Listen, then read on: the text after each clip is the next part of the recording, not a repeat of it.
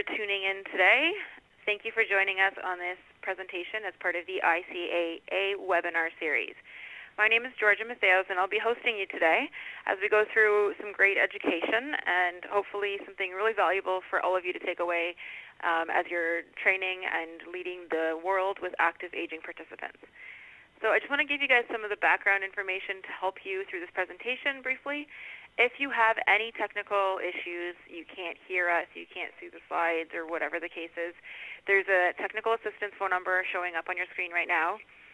They're very helpful, so feel free to give them a call. They can troubleshoot it for you. If you have questions for our speakers throughout or comments or any feedback, there's a chat box that you can type into. I'll monitor the questions as we go through so that we can answer them all at the end and make sure that we capture everything. Um, this presentation is being recorded today, so it will be available on the website within a few days in case somebody else that you know really wanted to come and they couldn't make it. So that is about it for me. I'm going to do a brief introduction on our speaker, and then I'll let him run the show.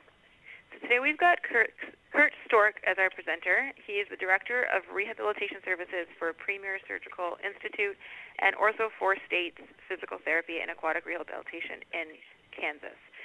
I'm going to turn it over to Kurt with this wonderful presentation on benefits of aquatic strengthening for the aging population. Thank you, Georgia, and I, I wanted to thank um, ICAA for allowing me to present today, as well as um, Kyle at HydroWorx. Um, I'll start today by um, letting you guys know that, that the presentation is benefits of aquatic strengthening for the aging population. And the great thing about the aquatic setting is most of the things we'll talk about today can not only be carried over in an aquatic setting, but also on land. And so it's not always necessary that you have a pool accessible every day, but that many of the same things you're able to do on land um, can be done in an aquatic setting, and there's additional benefits that we'll talk about. A little bit about me. Uh, I've been a physical therapist for 23 years. Uh, 20 of those years have been in outpatient orthopedic um, and sports medicine, as um, well as having an aquatic uh, pool uh, for the past nine years at the setting we're currently in. Um, my wife is actually a physical therapist, and she is an aquatic certified uh, physical therapist, um, and we have uh, three of those therapists here at the clinic. Um, we have three children and um, probably our favorite family member, a Labrador. Um, there is there is a picture of my kids and uh, my dog who uh, spends a great deal of time in the pool. So um, we, we spend a lot of time in the pool as well. Uh, a little bit about our facility. We opened in 2009 at my current facility. We had a, uh, a 1100 pool which has one treadmill and an exercise area. Um, we had an incredible, overwhelming response from our community um, in which we had to actually knock out a wall on our clinic and build a second, much larger pool that has two treadmills and a much larger exercise area uh, because of the response um, from our uh, primarily our geriatric and post-surgical patients. Um, we see over 6,000 aquatic visits per year and have 18 therapists. Um, we also run a community wellness program for people that have been discharged from therapy that want to continue their strengthening in an aquatic setting. Let's talk about aquatics and any kind of exercise for that matter. Um, safety is is very important in any program that uh, somebody starts, and it's really important that you know your medical conditions and talk to your physician prior to initiating either a land-based or aquatic exercise program. Um, you definitely need cardiac clearance with our with our aging population. Um, we're becoming more and more active, and there's more and more groups and opportunities to not only strengthen and exercise and improve your endurance, um, but improve your quality of life, and thus um, the other medical problems that go along with it need to be checked out by your physician prior to initiating a program. Um, exercise and target heart rate. Um, there's a, a, a, chart here and something to kind of think about to improve your physical fitness and endurance as well as strength, whether it be a cardiovascular program or a strengthening program, um, you want to hit a target heart rate zone of 50 to 80 percent of your max. Um, there's a pretty easy little equation in which you take 220 and subtract whatever age you are, and then multiply that times 50 to 80, or, or work within 50 to 80 percent, 85 percent of that. And so, um, depending on how old you are, basically um, take 220 minus your age, and then um, find 50 to 85 percent of that to gain benefit. Um, some studies about uh, there was a recent study in 2017 um, in the in the Journal of Hypertension, and it it took um, older women um, with high blood pressure, and it basically put them through an aerobic exercise program. And 24 women who were over 70 and had high blood pressure were assigned to 45 minutes of land or water exercise sessions, and they were split. And basically, when blood pressure was measured after the activity, they found that the anti-hypertensive um, benefits of water were comparable to that of land. And so you're able to get the same benefit whether you're doing it in land or in an aquatic setting.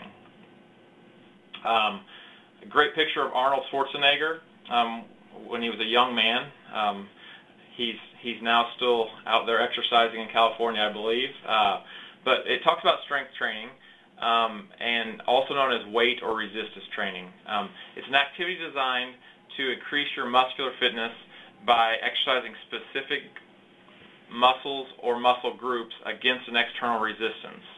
And it, it's important that you understand the external resistance can be a dumbbell, it can be a band, it can be um, a shopping cart. There, you can use many things um, to act as weights, and so it doesn't have to be something in which you go out and spend a great deal of money to, to outfit your home or area with a, you know a complete fitness center um, when you can you can get a bag of sugar that weighs five pounds and you can use that as a dumbbell and so people are pretty creative in their in their exercises. The American Heart Association recommends that the elderly perform at least 90 to 150 minutes of aerobic or resistance exercises per week. And so, you know, doing the quick math, um, that's three to five days of 30 minutes of aerobic or resistive exercise every single week, um, trying to put yourself in the optimal fitness and strength. Um, additionally, we talked about using different things for weights. In the pool, um, we also can use um, the TheraBands. We can use water paddles. Um, a piece of foam works really well for resistance. And then they have specifically designed um, water dumbbells, water cups, weights, um, and, and, things that don't rust and have a, a plastic um, coating.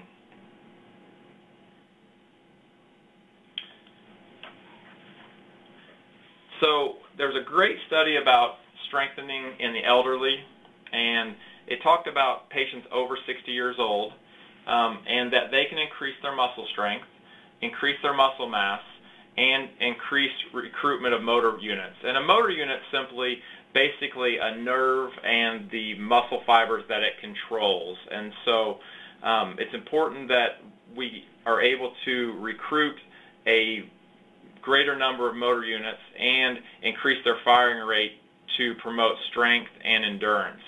Um, it, it needs to be increased through training at an intensity of 60 to 85 percent of your maximal voluntary strength.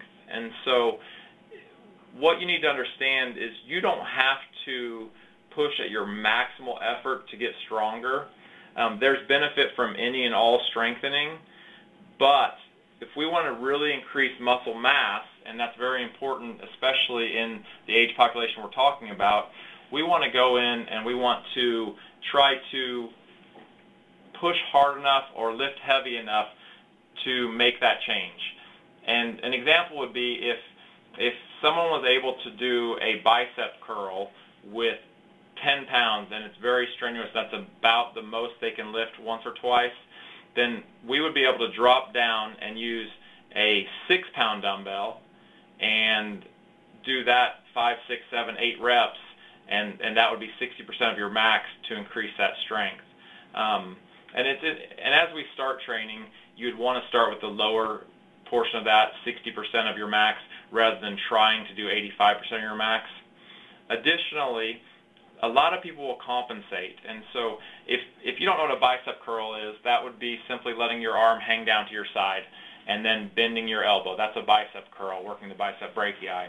If, if you're going to try to do your max on that, if you start to pull your, bend your elbow and lean back forcefully, you're going to be able to use momentum of your trunk and your knees and your legs to get that weight up. And that's not going to develop as much strength as if you were to control that, maybe put your back up against a wall or stand stationary to where you're not using momentum um, to, to gain that strength. Excuse me.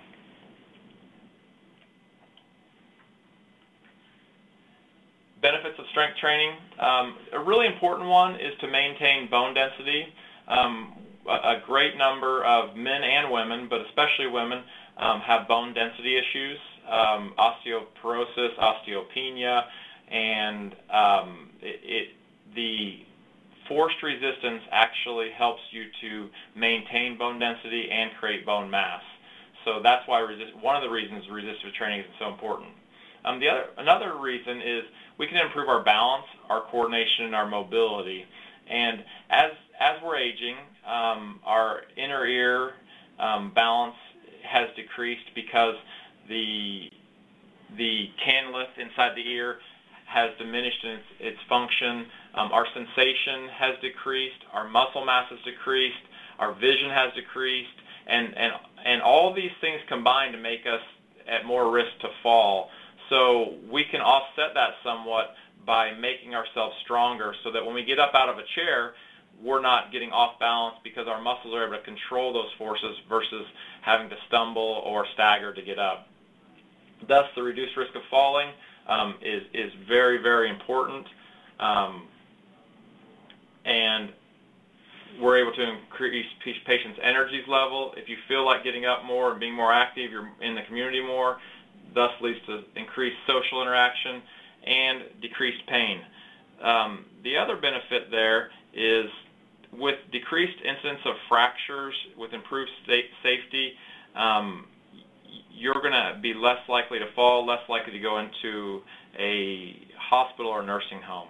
Um,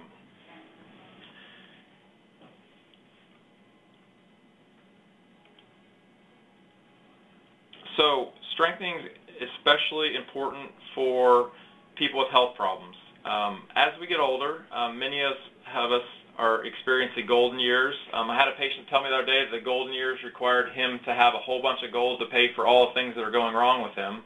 Um, and I, and I, it kind of took me back, and I started thinking about it, and there's some truth to that. Um, and so people with arthritis, um, exercising in the aquatic setting reduces pain and stiffness, increases strength and flexibility, and also on land. Um, a diabetic patient, um, which is one of the, the largest health problems in America, improves the glycemic control and is important. Uh, again, building bone density and reducing risk fall, re reducing risk for falls with an osteoporosis, um, reducing cardiovascular risk, um, improving your lipid profiles and overall fitness level. And I think this one in America especially is very important, obesity. Um, increasing your metabolism um, which helps burn more calories and controlling um, long-term weight issues. Um, people don't understand um, how much um, obesity affects America, but I'll give you an example, and especially for orthopedics. Um, one pound of increased body weight is the equivalent of four pounds of increased load at your hip and knee joints.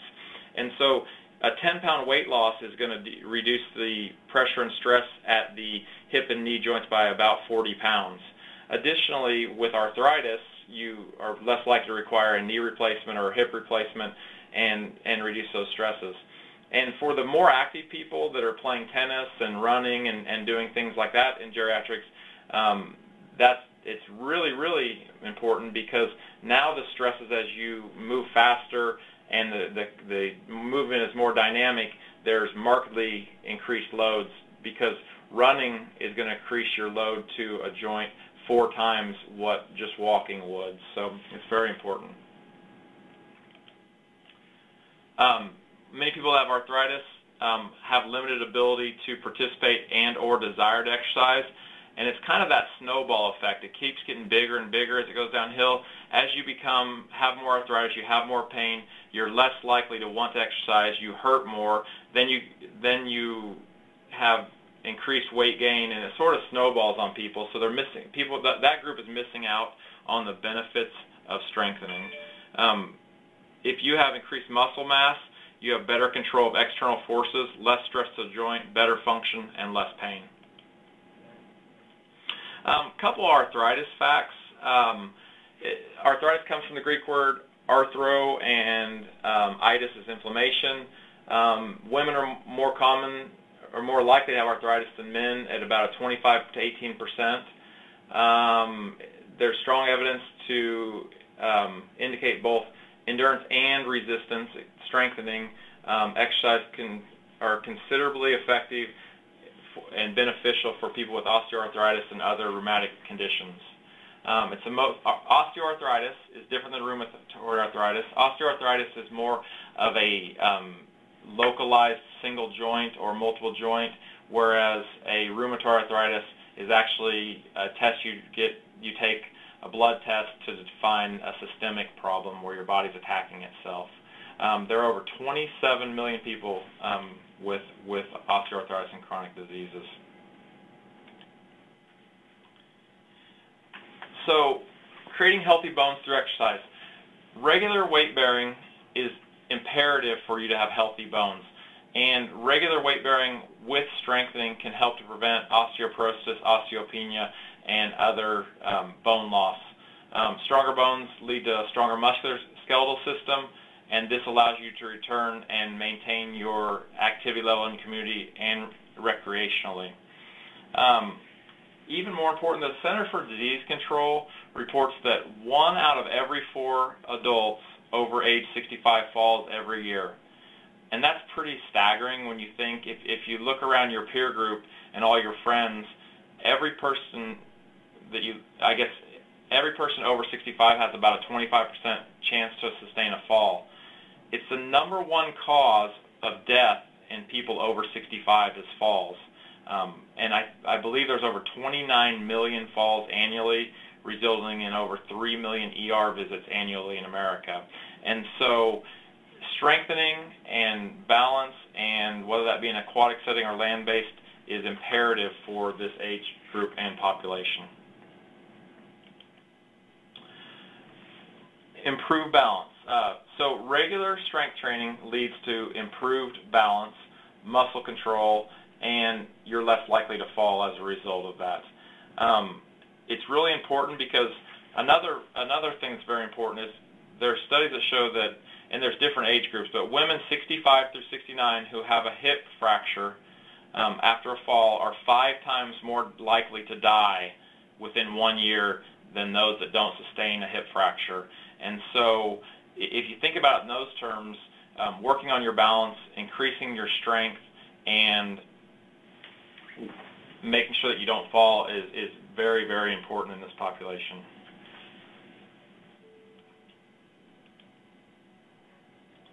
Um, when your muscles are stronger, the connective tissue around them is stronger. Um, it, it, means the entire musculoskeletal system is bolstered, providing protection against injuries caused by weak ligaments, tendon, and muscle fibers. Additionally, if you're to fall and you have increased muscle mass, you might be able to not only control the fall better and maybe set yourself down, but you have some additional protection of, of soft tissue muscle versus the fracture um, occurring due to just lack of control. Um, so let's talk a little bit about strengthening and aquatic strengthening. Um, finding ways to make an aquatic strengthening program part of your day is very important make it a routine, make it something that you do, and make it something fun. If, if you can get a group or a either friends or a class, um, people are more likely to participate when they have um, some accountability to friends or other people within the class. And so I think making it fun is very important. Um,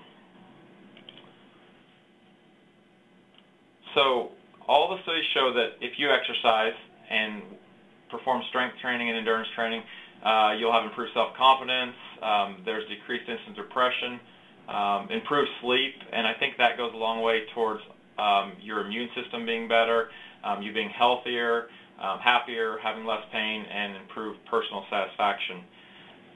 Um,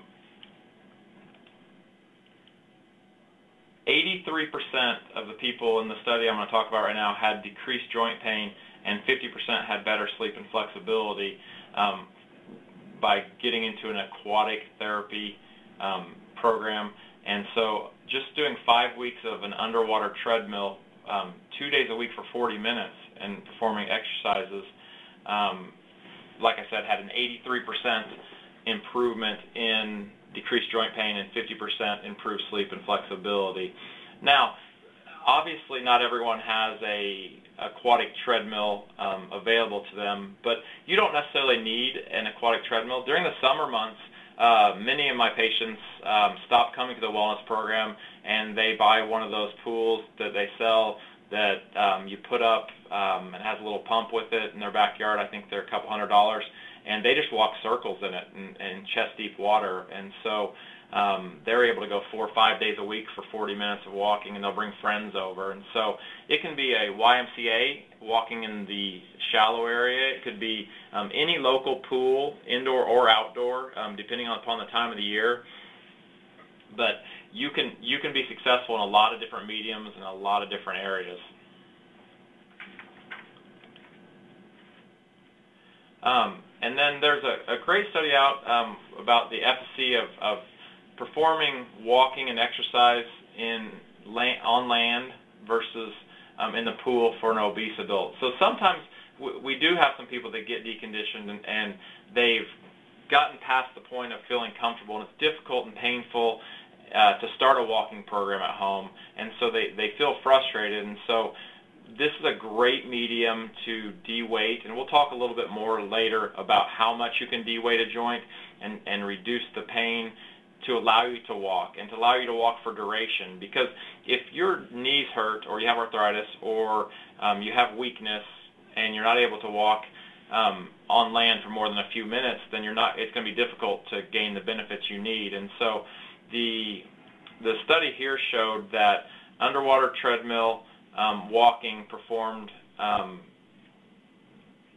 was very comparable to land-based programs and actually um, developed more lean body mass walking on an underwater treadmill compared to land-based. The body mass index, um, your fat body, body fat percentage, and waist-hip ratio were all reduced significantly, and it's, it lowers your risk of injury, pain, and improves compliance and ability to, to, to participate. And so I think that's that's imperative. Is again, you've got to be able to be able to want to do it and be able to do it. Um, so here's a, a, picture of one of our pools and and um, some of our patients and therapists working with them. And um, if you do have a, a, community resource that has a wellness program, uh, with a pool. Um, it, it's amazing. It, the difference in ability to walk, um, whether that be somebody that's deconditioned, somebody that has balance issues, someone that has arthritis issues, someone that's post-operative, or the higher level patients, the people that want to maintain their athleticism, the people, the, the weekend warriors that want to go play squash or golf, um, or they want to still be able to play tennis and they're in their 60s and 70s. Um, it's a great way to maintain strength and be able to continue training more aggressively than you would be able to on land due to some some health um, deficits, some arthritis or some joint pain or some muscle soreness. And so um, it's a great way to strengthen and maintain that level of fitness and strength. Um, contraindications. We do need to talk about some things you you don't want to do when to go into an aquatic setting. And again, when you're doing a, a presentation like this, um, you want it's a it's somewhat of a generalized aquatic uh, program.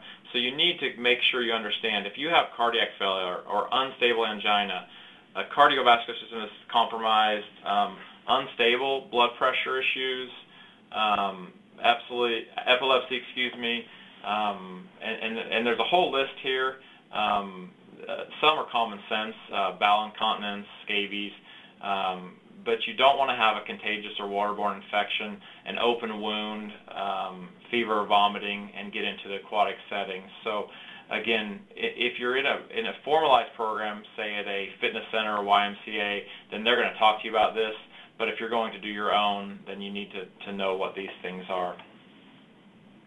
And severe hydrophobia is just fear of the water, which is, seems like a lot of common sense. Um, water buoyancy is basically the float. Um, that's buoyancy is something that's very important to our, our aquatic principles. It decreases the amount of weight that the articulating surfaces of your ankle, hips, and knees and pelvis are, are receiving. Also unloads the spine. Makes it much easier and less painful to exercise. Um, we also have the hydrostatic pressure, which is that pressure of the water up against your skin. When you push your arm down into the water and you get deeper, that increases. Um, it, that will assist in helping decrease swelling. Um, also to allow you to feel your joint position awareness in space. Um, the water warmth um, also relaxes muscles, vasodilates vessels, and increases blood flow to a sore, injured area um, or something where you've worked out and have lactic acid post-injury or post-surgical. Um, there is a difference in temperatures between a therapeutic pool and a, um, a community pool, we'll talk about that in a moment. Um, viscosity of the water is the resistance, so that's when you push your arms up and down against the water. If you do it very slowly, you don't feel much resistance, but if you forcefully pull your hands up or down, you're going to feel markedly more resistance. Uh, really important principle in um, strengthening to allow you to get stronger and to achieve your goals, really. Um, warm water, uh, we're in a therapeutic temperature of a pool, which is um, in that 92 degree range. Um, people love that, that have arthritis, that have uh, joint aches and pains. Um, if you're a more, if you're an athlete that's wanting to go out and swim several miles, you want a cooler pool so you, your body temperature doesn't heat up. Um, I think improved morale and confidence is um, established by providing a positive medium which a function so people that can't do quite as much can do more in the pool. Um, and you can be challenged beyond their limits of stability um, without the fear of consequence of falling, which we talked earlier about the potential for fracture, and, and so there's um, you're able to do that in the pool. And so if you get off balance in the pool, you basically float. If you get off balance on land, you fall and uh, could potentially sustain an injury. Um, obviously, improving functional independence is important. Um, hydrostatic pressure, again, helps decrease swelling, promotes circulation, accelerates healing, and improves nutrition um, through blood flow to an injured or fatigued area. Um, we kind of talked about the buoyancy. Um, it does act also as a support for the spine and extremities, um, which is really important. Um, helps with postural correction, so you can tell when you're when you're leaning with less comfort and discomfort, um, with less effort and decreased discomfort, and provides resistance to our movement. So we talked about water decreasing the load to the joints. Um, when you stand in water at waist level, 50% of your body weight is deloaded, obviously through the ankles, hips, and knees. Um, when you get up into a chest level, it's 75% of your body weight approximately, and not many of us are exercising this level, but we, we are capable of it. Is if we bring it up to above, just above your shoulders, it's taking 90% of the load off you, of, of your joints.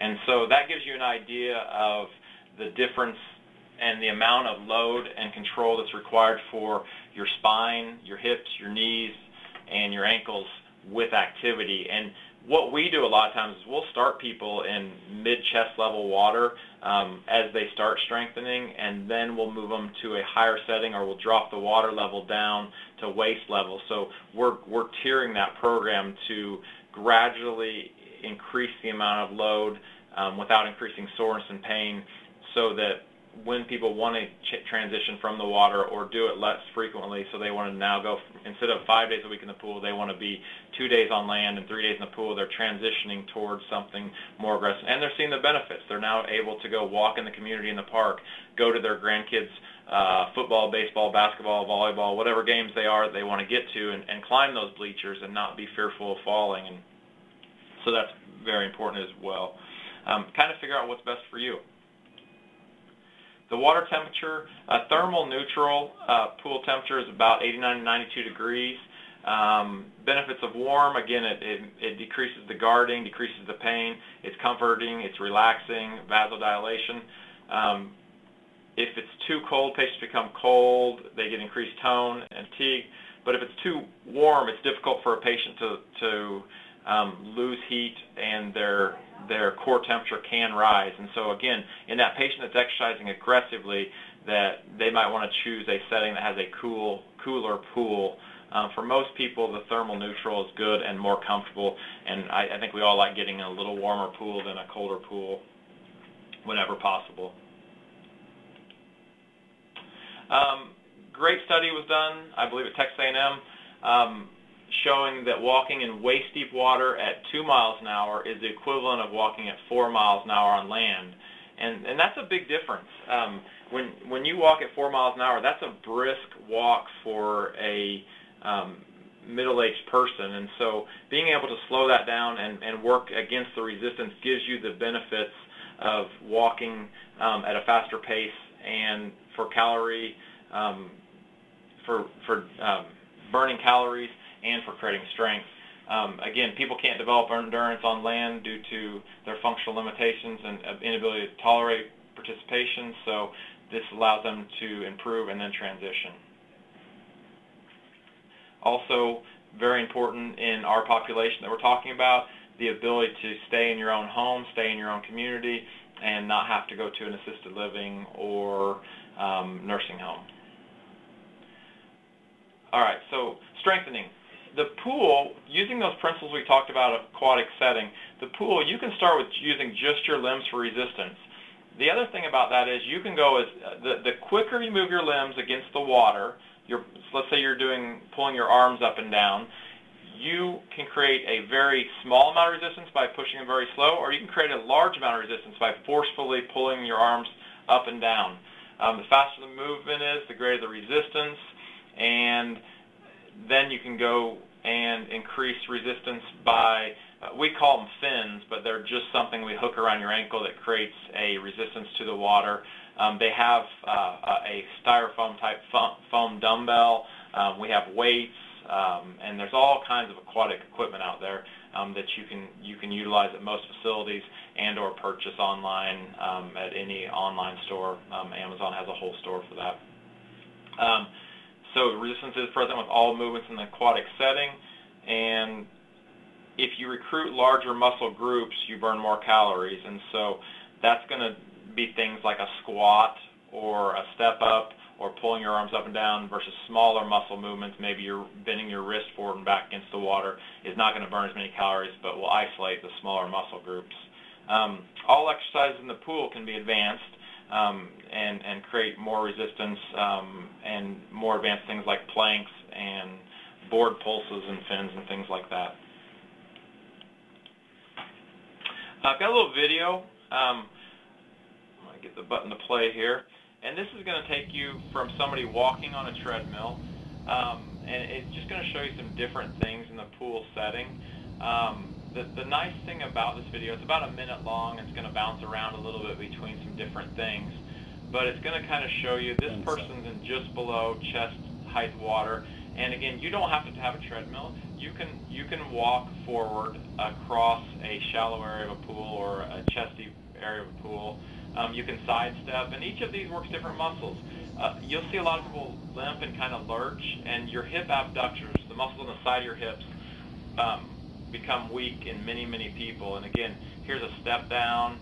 Here's somebody um, controlling her trunk while pulling the water up and down. Um, there's the paddles I was talking about. Those open and close by twisting them to create more or less resistance. Um, working different muscle groups, pulling across your body down to the side, and and then you can work.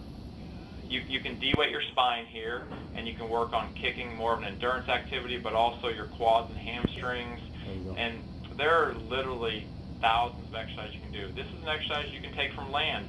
Most of my geriatric population would have a hard time with a lunge or a step up necessarily or a step over. And so there was the shallow, and then they go back into the deep um, setting there to do the kicks and whatnot. But it kind of gives you a, an idea of, of the generalized medium of the water, how you can use your arms, how you can use paddles, and how you can use different exercises to to meet your goals.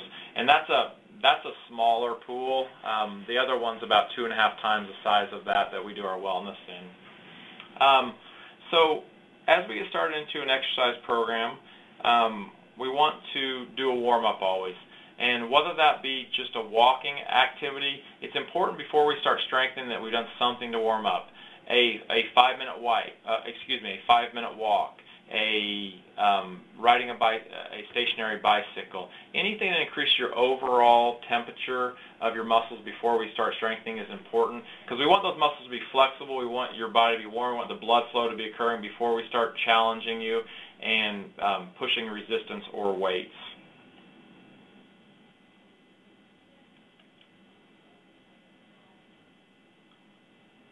Functional strengthening. So I like to, to start with functional strengthening for most people because we get to use large muscle groups. And, and most people want, you have to have your large muscle groups to maintain balance and functional mobility, meaning walking, transfers, that if you're in a recliner, you guys ever sit down in a recliner and and you start to lean forward and you kind of fall back into it because it's got a little bit of play in it or it, it rocks back and forth and your legs aren't quite strong enough to get out of, out of that or up from a low seat.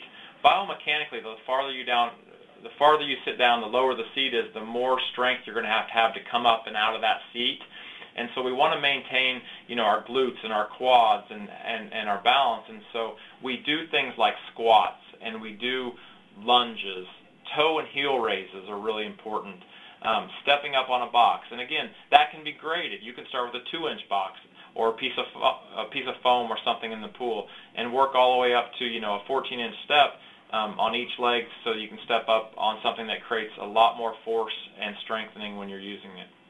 Um, the great thing about the pool is many of us experience balance issues as, as we're aging, and you can stand in the pool and work on single leg balance things um, without the risk of falling.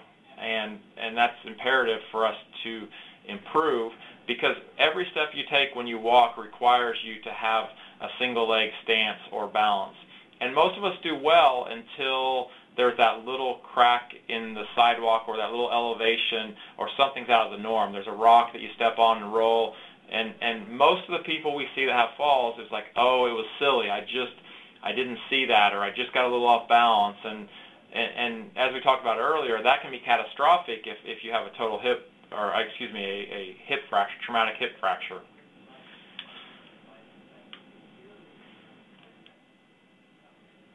Um, it allows us to, everything you do in the pool requires you to have some amount of core stabilization by tightening deep abdominal muscles um, during all exercises. Um, I, this is a great slide because we all have a six-pack. Um, some of our six-packs are just hidden a little bit more than others. Um, but it's, you have to have core stability and trunk control to transfer, to go from sit to stand, to get in and out of bed, to get in and out of your car, um, uh, you know, walk up a ramp. And so, so it's really imperative that that we work our core, but all body types, no matter what your level of fitness, have the ability to improve and to get stronger. And all of us have the same muscles. We just some of them are covered up a little bit. Um, uh, aquatic allows our deconditioned patients to use the healing properties of water, increase motion, increase strength, decrease swelling, improve functional activity and endurance. Again, every patient level from somebody who can only take a few steps up to somebody that can walk three miles, four miles, um, can benefit from aquatic therapy and strengthening. And it's just where you start on that continuum.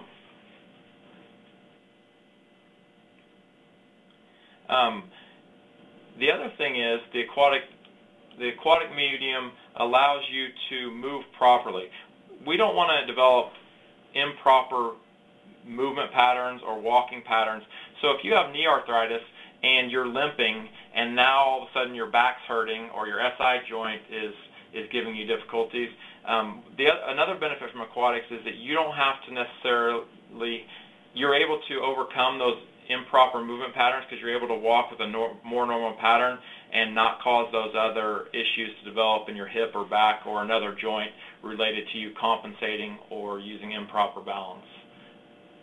Um, again, some additional benefits to early intervention following an injury, following soreness or following surgery, um, earlier full weight bearing, less compensation, facilitate proper mechanics, and not have those, those issues develop.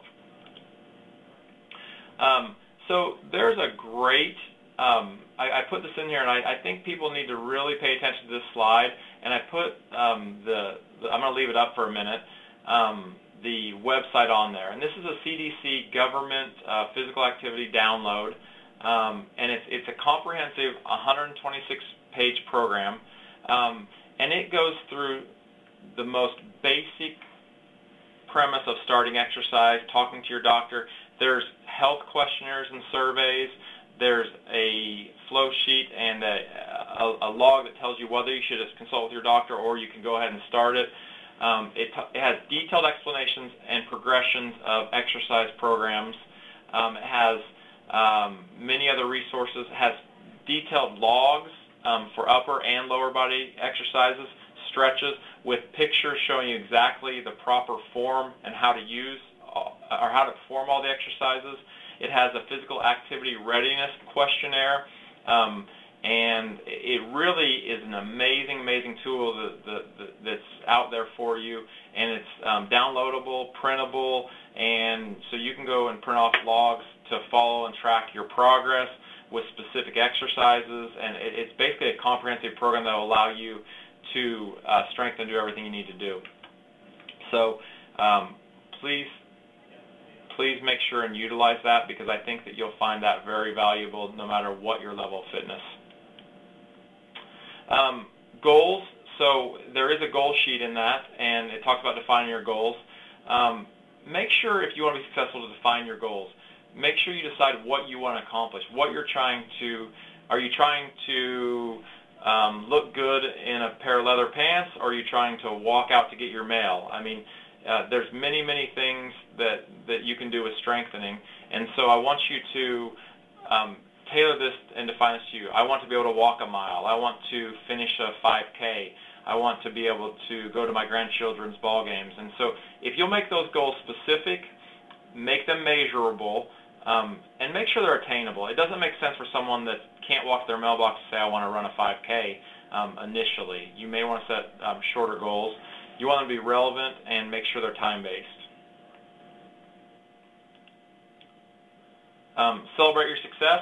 Um, when you when you have an improvement, when you get stronger, when you achieve um, what you need to accomplish, make sure you reward yourself. Um, enroll in a class, uh, go to a sporting event, go out to dinner. Um, celebrate success. We don't celebrate our successes enough. Um, couple exercise tips. Make sure you don't hold your breath. Holding your breath will increase um, pressure um, not on your heart, on your intrathecal area, so you don't want to do that. Um, you want to use controlled motion. Um, you don't want to use momentum, kind of like we talked about about not leaning back. Um, again, log and track it, and um, find activities you like, and then make sure you're stretching post-activity.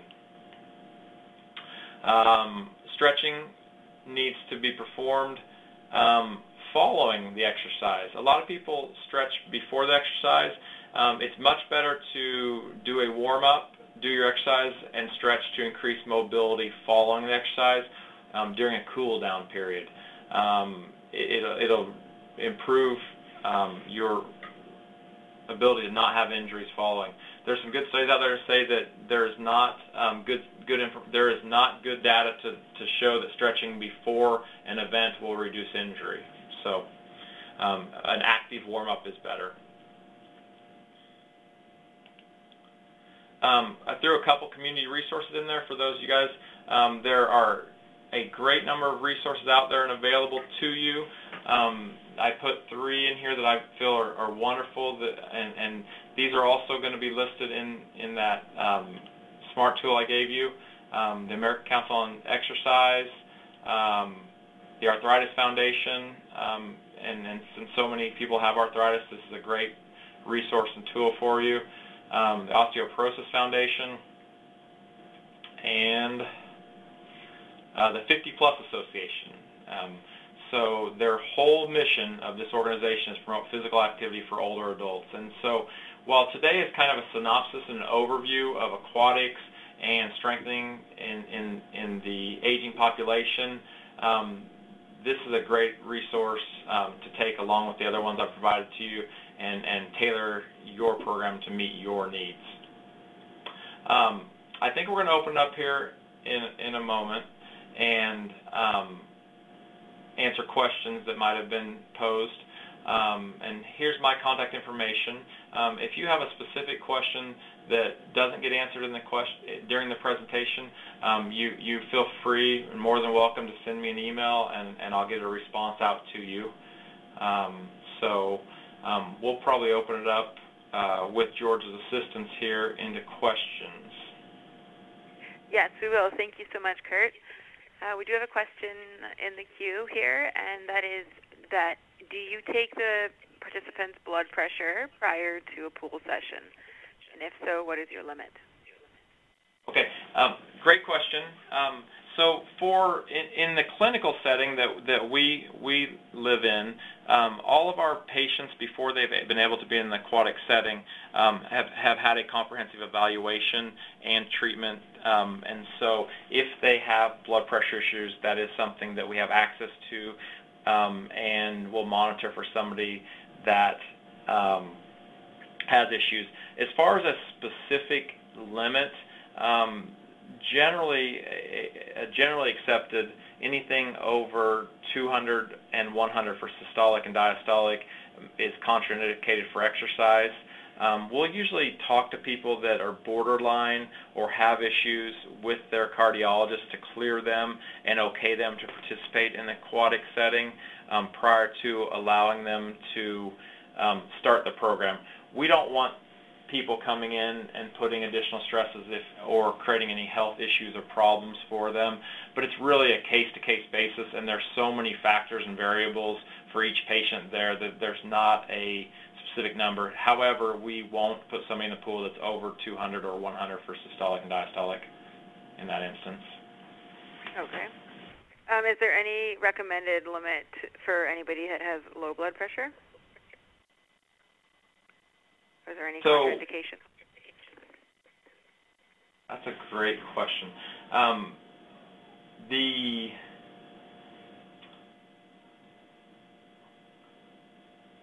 I have not had somebody with a low blood pressure issue um, that I've had to address. To be honest with you, let me. I will follow up with you on that.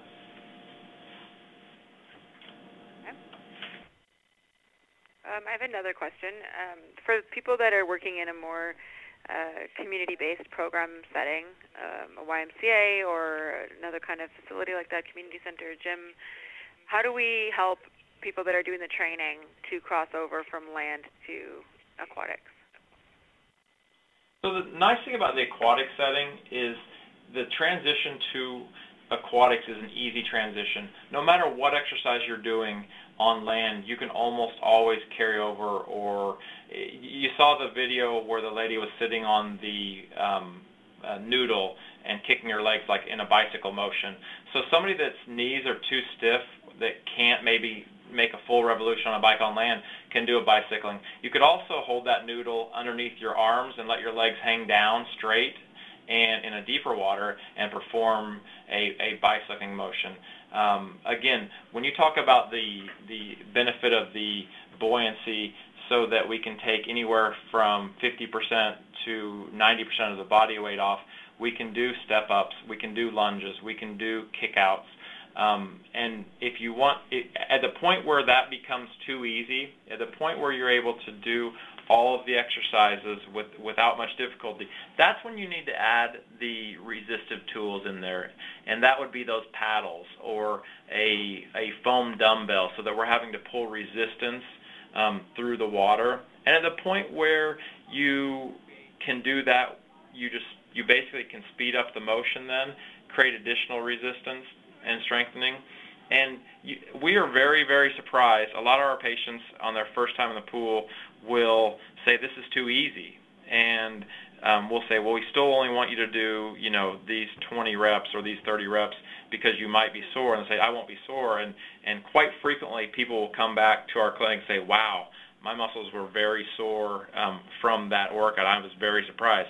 Not painful, not joint pain, but they'll have muscle soreness, and and that's that lactic acid buildup from somebody being able to work harder than they're not than on land where they're not able to push themselves because on land they the inability to push themselves because of pain or other restrictions. And a lot of people don't exercise properly. Um, you'll see somebody stand, um, and uh, I'll use a squat for example, and they'll stand holding on to something, and they'll squat down, and, and they'll take their knees way out forward, and they'll hold on to whatever's in front of them, they'll drop their butt back, and they'll pull themselves up using their arms and momentum, and they're not really working the exercise correctly, and, and but they can't because they're not strong enough or they have too much pain. In the pool, they're able to then de-weight that, but do the exercise through a larger range, recruit more muscle units, motor units, and muscle fibers, and create more strength. And that's why a lot of times you'll see soreness. So the transition is simply taking a look at your exercises and applying those then against the water medium and then with um, either, like I said, dumbbells, um, ankle weights. Um, there's a, there's a lot of different things, and most most facilities that have a pool have have invested in um, those those tools, and especially places that are a little larger that have bigger pools that have um, specific programs to an aquatic aqua size. And and people say, well, I can't do all those things but you can you don't have to use a dumbbell. You can use your hands for resistance as basically a precursor to then getting stronger and tolerating it better, and then moving up to the to the weights. And so it's a great way to, like I said, be active, get stronger, and improve um, muscle strength and endurance. Great. Thank you so much. Um, next question: Is there a different approach, or do you have any recommendations for those people with lymphedema? So the lymphedema is a, a very unique um, pathology, and and there's a, a, whole specialty within physical therapy for lymphedema management. Um, sometimes it's they the people that treat lymphedema, um, depending upon the patient's other medical conditions, will will limit that but we don't have a specific different approach um, for those patients in the pool setting. Okay, so do you think that they'd be still able to get into the pool setting under general guidelines, or would it be a case-by-case situation? It'd be a case-by-case situation based upon patients' um, skin status and um, cardiovascular status and physician um, re- release. Okay. I'm just checking. I think we may be wrapping up with the question period. If anybody does have another question, they can definitely send it in. I'll give you Kurt's uh, contact information once again. And if there's no other questions, we will wrap things up. So I just wanted to thank everybody for being here today and for listening in on this presentation, and to thank Kurt for the the education and the knowledge that you imparted to everybody, and to thank HydroWorx, who was in part a sponsor in this session and supported the education that we were able to deliver to everybody. So if you have any questions after the webinar, please do send them in, and there will be a survey that comes out for you guys as well, so we can continue to bring you great education in our webinar series. So thank you very much, Kurt. Thanks everybody thank else you. for being here.